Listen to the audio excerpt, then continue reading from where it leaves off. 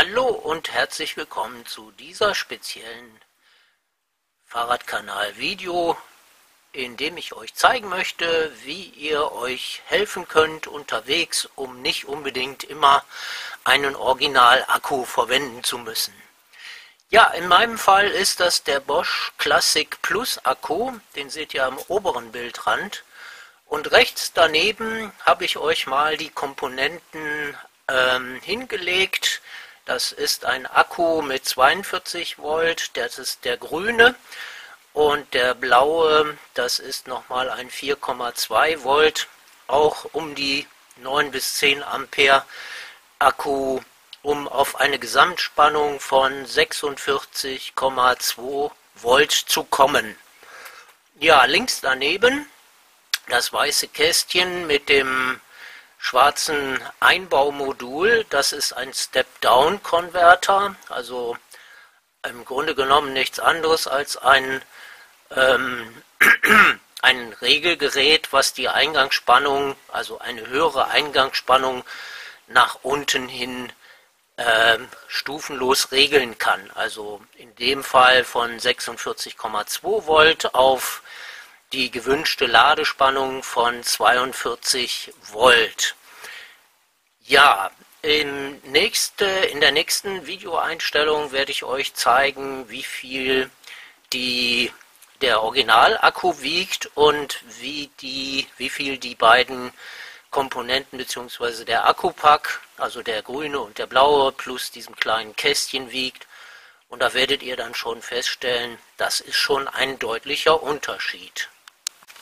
So, hier ist jetzt der Akku auf der Waage und ihr seht oben eingeblendet, dieser Bosch Classic Plus Akku wiegt 2,5 Kilo. Ja, leider geht die Waage immer nach einer bestimmten Zeit von alleine aus, solange keine Bewegung stattfindet auf der Waage. So, und in der nächsten Einstellung zeige ich euch, wie viel die anderen Ersatzakku-Komponenten wiegen. Ja, hier jetzt die Ersatzakkukomponenten. Ihr seht, ähm, der grüne und der blaue Akku plus diesem kleinen Kästchen wiegen zusammen 2,1 Kilo. Ja, die Waage ist schon wieder ausgegangen. Ähm, ja, das sind also 0,4 Kilogramm Gewicht, die man einspart. Das dürfte dann so in etwa das sein, was die, die ganze schwarze Ummantelung also das Gehäuse des Original Bosch Akkus ungefähr wiegt.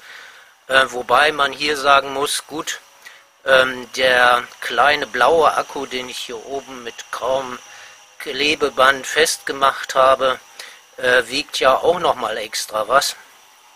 Und ähm, dieser ist ja im Original in dem Bosch-Akku so nicht mit drin, weil das ähm, Bosch-Akku System so ausgelegt ist, dass 42 Volt maximale Ladeschlussspannung ähm, entsprechend ausgelegt ist. So, ihr seht jetzt ähm, im Bild den Akku angeschlossen an dem Ersatzakku über das Step-Down-Modul. Ähm, ja, im Moment, ähm, ich habe den Akku angeschaltet, sodass man jetzt hier unten in dem kleinen Display hier oben die, die, die Ausgangsspannung des Akkus sehen kann. Also leider habe ich den Akku schon voll gemacht ähm, vergangener Tage, äh, weil ich das Ganze hier schon getestet habe. Und ähm, ja, ähm, zum guten Schluss habe ich ihn noch an das Original ähm, Bosch Ladenetzgerät angeschlossen und ihr seht, dass das hier der Akku jetzt 41,78 Volt hat. Ich kann euch das mal zeigen. So, jetzt geht die Spannung runter auf 0 Volt, wenn ich den Stecker hier ziehe. Jetzt muss ich das nochmal einstecken. So. Und ich versuche jetzt mal ran zu zoomen, damit ihr dann mal sehen könnt in dem Display. Na, ja, jetzt klappt es. So, damit ihr auch sehen könnt, in etwa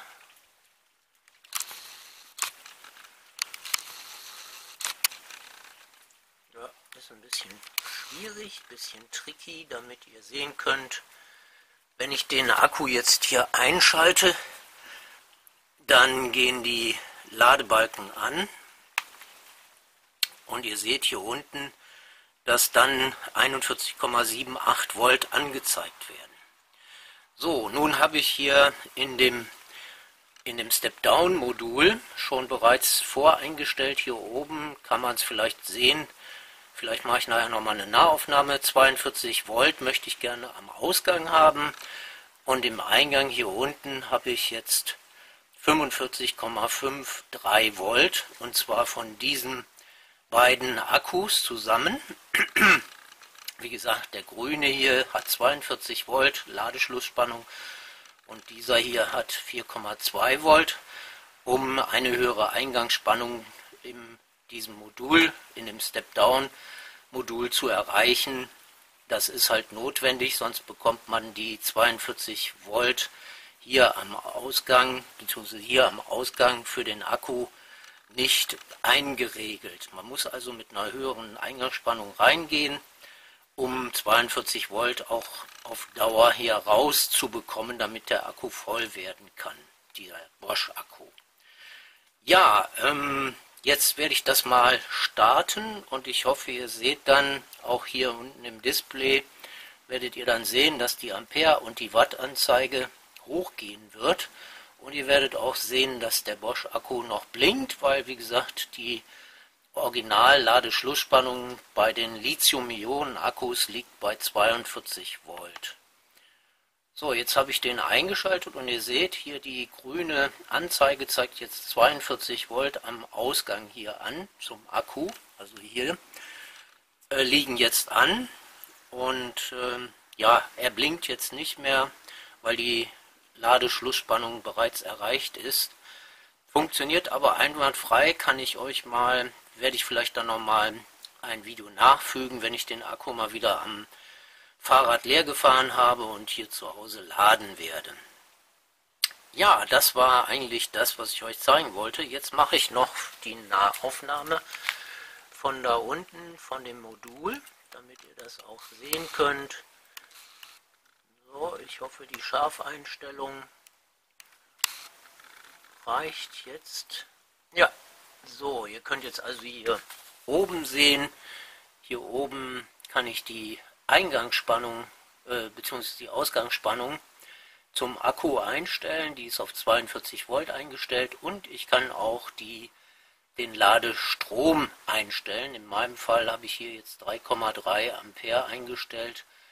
Das ist so ein Mittelmaß der Original Bosch Akku ähm, Ladegerät. Das liefert ja im Normalmodus 2 Ampere und im Turbo-Modus 4 Ampere. Also ich habe jetzt hier so einen kleinen Kompromiss gemacht, damit man auch in einer Stunde den Akku ähm, ja zumindest schon mal gut gefüllt wieder hat. Ja, und hier unten sieht man, wie gesagt, die Eingangsspannung. Das ist das, was hier von dem Akku eingespeist wird, von 45,7 9 Volt im Moment aktuell. Ja, es geht noch ein minimaler Ladestrom hinein von 0,64 äh, Ampere zurzeit. Das sind 27, 26 Watt. Das pendelt hier so ein bisschen hin und her. Ja, ähm, warum sollte man diese Möglichkeit des äh, Satzakkus ins Auge fassen? Ihr seht ja, die Abmessungen sind deutlich kleiner. Ich zoome nochmal heraus, damit ihr das auch sehen könnt.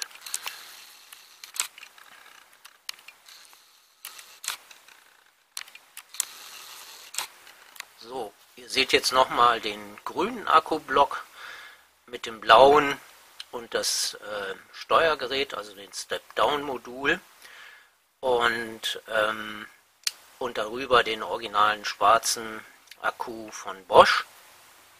Ja, und ich denke, es ist unschwer zu erkennen, dass eben ähm, schon eine deutliche äh, Volumens, äh, Größe, beziehungsweise dass dieser grün-blaue Akkupack schon mal deutlich kleiner ist.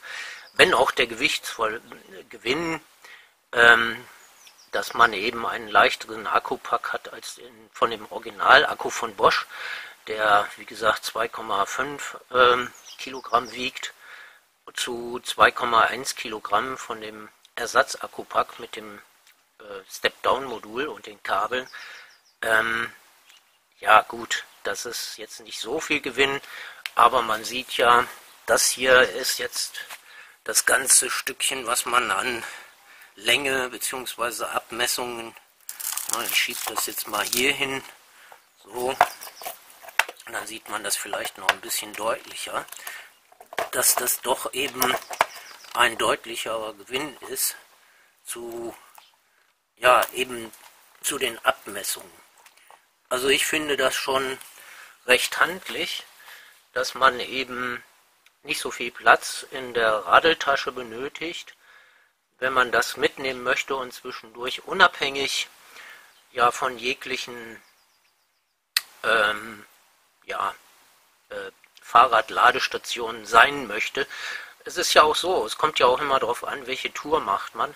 Also wenn wir zum Beispiel durch den Arnsberger Wald oder der, ähm, die Videos, die auch bei mir im Kanal zu sehen sind, ähm, zum Beispiel die Tour äh, an der deutsch-niederländischen Grenze, ähm, dabei Brüggen zum Beispiel nimmt. Ja, hier donnert es ein bisschen gerade, wie ihr hört. Oh ja, ganz ordentlich. Ähm, ja, und wenn man durch so ein Gebiet fährt, hat man nun mal nicht gerade um die Ecke eine Steckdose. Ja, oder man muss halt sowieso das Ladegerät mitnehmen. Das wiegt ja auch ein bisschen was. Werde ich vielleicht gleich nochmal filmen und auf die Waage legen.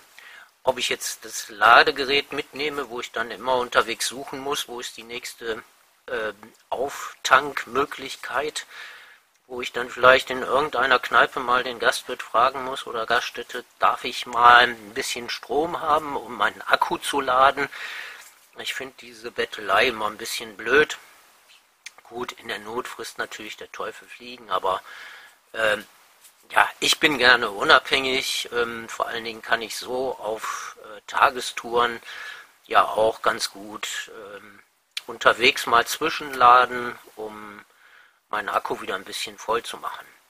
Ähm, andere Überlegung ist es, die ich auch noch im Kopf habe, dass ich den grünen, allerdings dann nur den grünen Akkublock direkt an dem an dem Original Bosch Akku anschließen äh, werde. Das werde ich wahrscheinlich auch noch mal ausprobieren. Ob ich es dieses Jahr noch schaffe, muss ich mal schauen. Ähm, dazu muss ich mir aber dann allerdings noch einen Ausgangsstecker für den Pluspol legen. Und da muss ich mal schauen, wo ich mir den hinlege. Ähm, allerdings ist diese Kombination dann nicht unbedingt so geeignet, um zwischendurch einen leeren Akku äh, wieder aufzutanken. Ähm, das ist dann eher etwas, um den Akku direkt von Anbeginn parallel zu schalten. Also sprich, wenn der Bosch-Akku voll ist und dieser Akku voll ist und ihre maximale Ladespannung von ca. 42 Volt haben, dann kann man die ganz gut parallel schalten, ohne dass es knallt, ohne dass es pufft, ohne dass es raucht, weil dann die Niveaus durchaus ausgeglichen sind. Also ich kann euch das bestätigen. Ich habe eine eigene Solaranlage gebaut mit ähm, acht Akkumulatoren von LKW-Akkus und das ist ähm, kein Problem. Man kann das zusammenschalten. Übrigens kennt man das ja auch, wenn man im Winter mal jemand Starthilfe gibt, weil die Batterie vielleicht zu alt und nicht mehr die Spannung liefert. Aber das ist ein bisschen eine andere Situation mit ähm, einem jemanden im Winter Starthilfe geben mit einer ziemlich leeren Batterie, deswegen sind die Kabel auch ziemlich dick. Nicht nur deswegen, aber auch, ähm, weil dann sehr hohe, ähm, sehr hohe Ausgleichsströme fließen. Also es hat nichts ähm, natürlich auch mit dem Strom zu tun, aber die Ströme sind in Ampere gemessen und dann fließen sehr hohe Amperezahlen. Noch hinzu kommt natürlich beim Startvorgang beim Auto im Winter, wenn man Starthilfe gibt, dass dann natürlich der Starter vom Auto auch einen sehr hohen Stromverbrauch hat. Ja, das ist jetzt mal ein kleiner Ausblick. Okay, ich wollte euch noch den Akku-Ladegerät, äh, das Akkuladegerät ähm, zeigen, beziehungsweise auf die Waage tun, um mal zu vergleichen. Also wie gesagt, diese, dieser, dieses Paket hier, der grüne, der blaue und das kleine Ladegerät, das kleine Ladegerät wiegt nur ein paar hundert Gramm, ähm, wiegen zusammen 2,1. Hier zu dem Originalakku von Bosch 2,5 Kilo. Und ähm, man darf natürlich auch nicht den Preis vergessen. Ich blende euch natürlich ähm, dann nochmal anschließend die, den, das Schaltschema ein. Ich meine, gut, im Grunde genommen sieht man es ja schon hier. Also hier gehen die ähm, beiden Akkus im Ausgang, die sind hier in Reihe geschaltet, deswegen sind hier drei Kabel, damit ich auf die, wie gesagt, ähm, eigentlich 46,2 Volt komme. Und dann hier im Ausgang von dem Step-Down-Modul. Allerdings ist hier noch ein kleines Modul, Step-Down-Modul eingebaut, äh, das eine zusätzliche Spannung für den mittleren Pol hier gibt. Das ist dieser mittlere Pol. Ähm, sonst würde die würde das eingebaute äh, Lademodul ähm, oder wie man sagt, B Batteriemanagementsystem BMS, das beinhaltet auch eine Steuerung dass eben das Originalnetz Netzladegerät von Bosch, ähm, wenn es angeschlossen wird, auch weiß, das ist ja hier mit eingebaut ähm, in dem Gehäuse, äh, weiß, aha, ähm, jetzt befinde ich mich im Ladezustand und schaltet dann auch hier die Ladeanzeige an und die blinkt dann auch. Würde die jetzt hier auch machen, aber wie gesagt, leider ist der Akku schon voll. Ich gucke gleich mal, vielleicht habe ich noch einen anderen Akku, wo wir es kurz mal zeigen können. So, und jetzt, wie gesagt, wie versprochen, nochmal kurz die, das Original Bosch Ladegerät auf die Waage. Äh, die Waage muss ich erst nullen, das hat sie jetzt gemacht. Jetzt tue ich hier mal das Original Netzteil drauf. Ja, und ihr seht oben in der Anzeige 1,1 Kilogramm, knapp 1,2, meine ich, habe ich vorhin sogar gesehen. Also daran seht ihr schon, ähm, also gut, meinen Akkupack für unterwegs, um mal kurz nachladen zu können und um, um unabhängig sein zu können von irgendwelchen Steckdosen, die man dann suchen muss. Wo kann man laden? Ähm, ist halt ein 1,1 Kilogramm Unterschied, denn ähm, ja, ein Kilogramm, sagen wir mal so, knapp ein Kilogramm Unterschied, denn das wiegt wie gesagt 1,1 bis 1,2 Kilogramm und mein Ersatzakkupack, so wie ich ihn gebastelt habe, wiegt halt äh, 2,1 Kilogramm. Also ein Kilogramm Unterschied. Ähm, gut, man darf natürlich nicht vergessen, jedes Kilogramm auf dem Bike, was man mitnimmt, vor allen Dingen auch auf dem E-Bike, ähm, kostet natürlich Energie. Entweder muss man die dann mit eigener Körpermuskelkraft kompensieren oder eben ja, mit äh, darin, dass man eben die Leistung der Unterstützung am E-Bike bzw. Pedelec genauer gesagt, äh, dann entsprechend die Unterstützung höher schaltet. Ähm, gut, dafür ist man allerdings dann un, äh, unabhängig, wie schon gesagt. Ähm, man kann jederzeit zwischendurch mal laden, wenn man irgendwo eine Pause macht und sein Butterbrot isst oder in eine Gaststätte geht und was isst oder was trinkt und äh, kann den Akku dann mal eben rausnehmen und an diesem Ersatzakkupack nachladen. Ja, zu den Preisen für den Originalakku weiß ich nicht, ob ich schon was gesagt habe. Also ich habe im Netz geguckt, zum Beispiel meinen Akku, der hat ungefähr 400 Watt Ampere ähm, bzw. 400 Wattstunden. Leistung, das entspricht so ungefähr 11 äh, Amperestunden.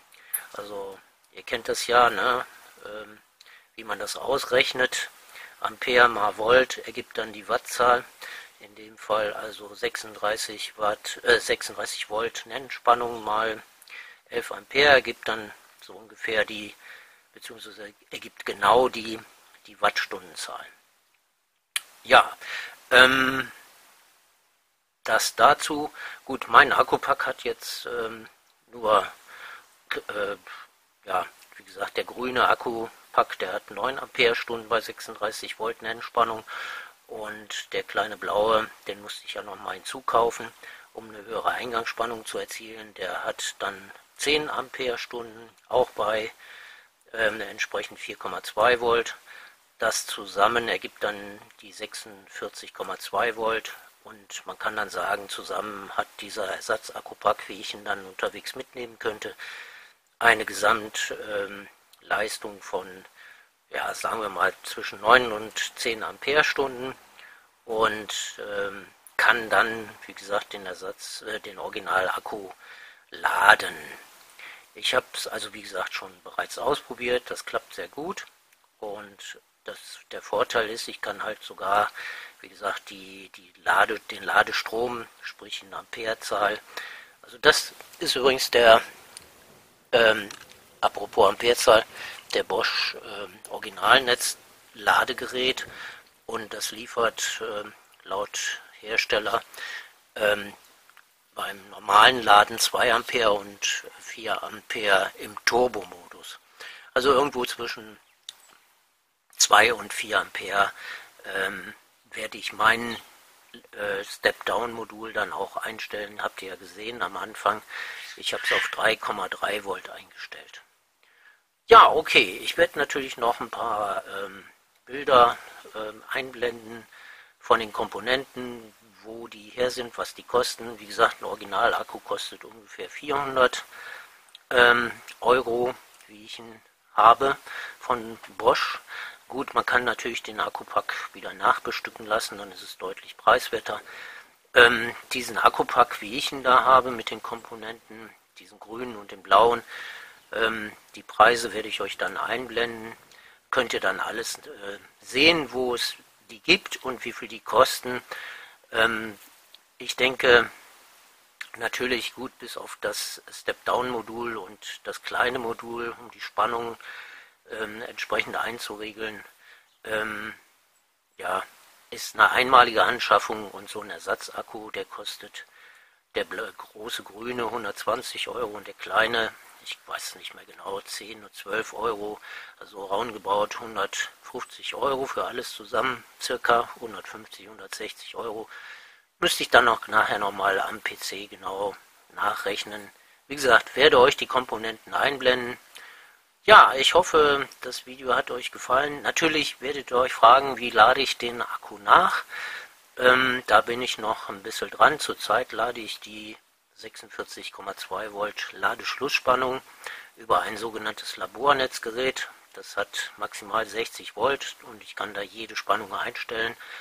In dem Fall die benötigten 46,2 Volt, die stelle ich ein, dann schließe ich ihn an, dann mache ich ihn voll. Ähm, ich will mir allerdings dann noch was basteln, dass ich das, ähm, den, den Akku, den Ersatzakku dann hier auch anschließen kann hier an dem Bosch Original Ladegerät.